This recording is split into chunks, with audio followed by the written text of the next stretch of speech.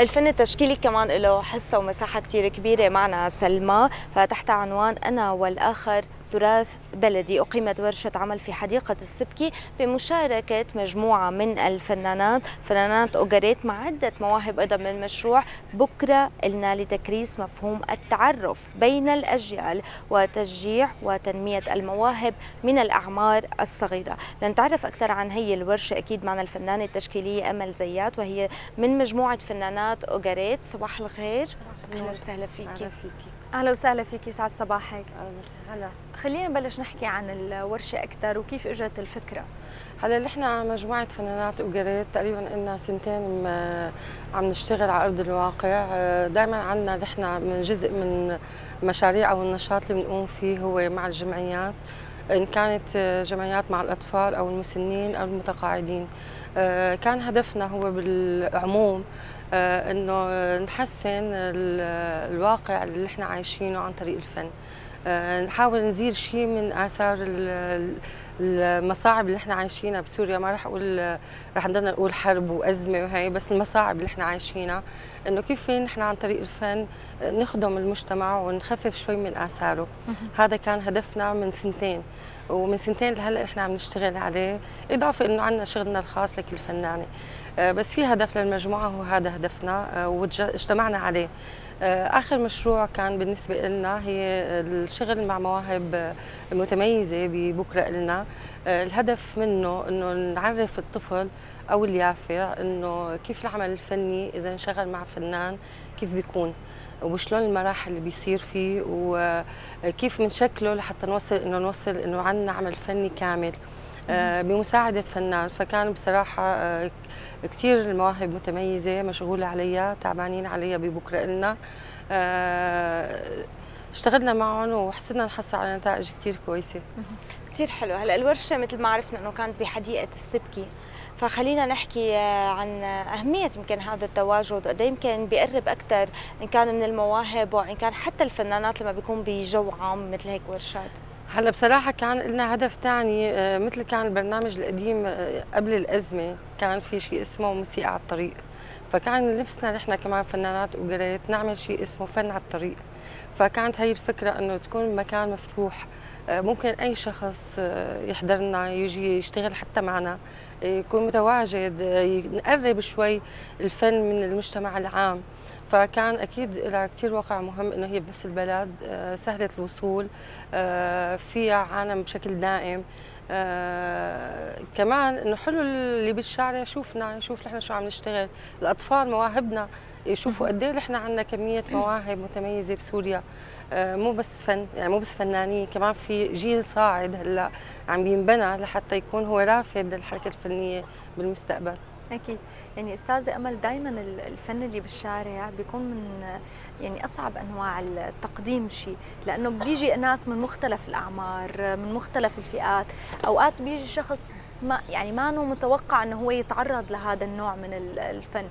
كيف كان صدى الناس اللي كنتوا عم تلتقوهم يوميا؟ هلا بصراحة نحن كفنانين تشكيليين إذا بدنا نحكي على على هذا النوع من الفن نحن من ال 97 شغالين فيه بالملتقيات بشكل عام. فصار في عند الشارع السوري إذا بدي أقول أو العالم بالشارع السوري شو يعني ملتقى؟ شو يعني فن؟ شو يعني آه، تحاور بين فنان وبين متلقي؟ لأنه إحنا من 97 لحد هلأ قامت مئات الملتقيات يعني. وهي وحدة جزء من النسيج اللي كان عم ينشغل عليه من 97 لحد هلأ.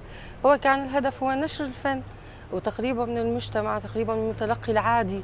ممكن اللي مثل ما قلتي ما يكون عنده أصلا اهتمام بس ممكن الحالة تثيره إنه هو يجي تجذبه وتثيره إنه هو يجي يشارك. حتى عندنا نحن في حديقه السبكي استضفنا طفل مشرد. من الموجودين عايشين بالشارع بالشارع فكان حتى له دور معنا حتى اشتغل معنا وتفاعل معنا وكان له حضور وعرضنا له العمل اللي اشتغلوا معنا.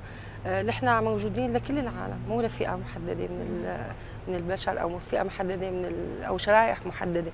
هي لكل الأطفال السوريين كانت. كثير الفكرة حلوة إنه أحد الأطفال المشردين يكون له دور. أول شيء يمكن آه، بسبب وجود الورشة بحديقة السبكي وثاني شيء آه، يمكن تشجع ضمن وجود آه، كم كبير من الأطفال. هلا بصراحة هي صارتنا كثير كلمة كثير حلوة منه إنه أنتم هون عم تشكلوا سوريا. هلا فعلا هي الفن فيه يشكل سوريا من أول وجديد فيه يعطي نفس جديد فيه يكون هو الاجيال هي رافد لبعدين لحتى نعمل شيء مختلف آه، بسوريتنا أكيد. ببلدنا. أكيد. هلا الفكرة الحلوة كمان الموجودة إنه وجود فنانات يمكن آه، لهم خبرة واسعة بجانب هؤلاء الأطفال. دائما الموهبة لما بتبقى موهبة بدون ما نسقلها بدون ما نوجهها فكثير من الأوقات هي ما بتنمى بشكل صح. خبرينا عن أهمية وجودكم بجانب هدول الأطفال. وشو هي الإرشادات اللي قدرتوا تقدموا لهم اياها هلا بصراحة نحن كان عندنا فنانات نحن ست فنانات من مختلف الاختصاصات. يعني عندنا كان الحفر عندنا النحت عندنا التصوير آه، حتى التصوير كان عدة عدة اختصاصات عم يشتغلوا فيها إعادة تدوير. آه، النحت كان في كمان على الإسمنت وهي مادة آه، يعني أول مرة بيشتغلوا الأطفال فيها أو بيتعرضوا إنه هن يشتغلوا بمادة مباشرة بهالطريقة هي كان عندنا التشكيل المعدني مع الداس كمان هي أول مرة كانوا بيتعرضوا إنه يشتغلوا فيه. فكانت نحن كفنانات مهمتنا ننقل خبرتنا لهالاطفال الموهوبين فكل وحدة شو شو عندها مخزون حاولت هي توصل لهم إياه آه، بطريقة ما مبسطه هن يستوعبوه قدرانين من خلاله يبنوا شيء للمستقبل لهم يعني هلأ مثلا كثير تفاجئوا بطريقة إنه نحن كيف نعمل كركاس متحرك؟ هن بيعرفوا كركاس ثابت. كيف نحن بنشكل أسلاك عليه؟ هي هي أول مرة بيشتغلوا إنه يطلعوا عمل كامل كله بالأسلاك ما ينضاف عليه شيء آه كيف مثلا نعمل حداثة فيه يعني كيف بدي أعمل حداثة أنا بالاسلاك كيف أنا بدي أضيف ألوان. ما إنه بس هو مجرد هو برونز أو بوليستر أو أو أو أي مادة ثانية مباشرة. لا أنا في عمل حداثة فيني انشط خيال طفل عن طريق هي كمان الإسمنت. إنه أنا كيف بدي أبني عمل بالإسمنت؟ كيف بدي أبني كيف المراحل تبعيته شلون بيتشكل إعادة تدوير نفس الشيء آه، فكانت كل فنانة بالتصوير نفس الشيء مثلا آه، لينا ديب آه، الفنانة القديره علمتهم كيف الحفر كيف أنا بطبع شلون أنا ممكن أعمل من المطبوعات لوحة. بتحكي عن البلد وآثارها. آه كمان بتول آه علمتهم آه الطبيعه كيف أنا بتحاكى مع الطبيعة كيف بعيش معها كيف أنا بنميها وهي بتنميني. آه فكان إنه كل فنانة عندها قدرة أو عندنا على الأختام الأسطوانية كمان عملت صديقتنا آه، يسرى آه، علمتهم كيف الحفر كيف أنا بدي أطبع بالأختام الأسطوانية كيف ببني ختم اللي هو أصلا هي من التراث وهي الآثار. اللي نحن آه، موجودة ببلدنا فهي كان خبرات مختلفة كنا عم نحاول عن طريق شغلنا إنه نحن ننقلها للأطفال ونعمل لهم خبرة حتى لو كانت بسيطة بس ممكن تعمل شيء كثير كبير بعدين أكيد. أكيد.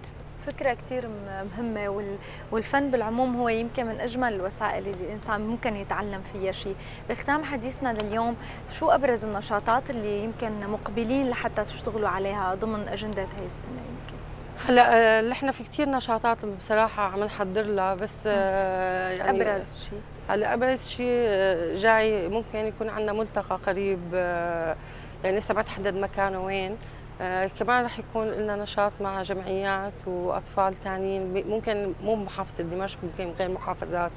آه هذا هو نشاطنا. دائما بنحب نتنقل من محافظة لمحافظة ليكون لنا حضور بكل سوريا مو بس دمشق أو اللاذقية أو حمص أو حلب. لا نحن بكل سوريا موجودين. أكيد. شكرا كثير لك وبنتمنى لكم كل التوفيق. تحياتنا كمان أكيد بنوجهها لكل الفنانات اللي شاركوا واللي دائما عم بيكونوا جنب الأطفال لحتى يسقلوا هي الموهبة ولحتى ياخذوا بإيدهم يمكن لحتى يورجوا موهبتهم لأكبر شريحة ممكنة. شكرا كثير لك شكرا. شكرا لك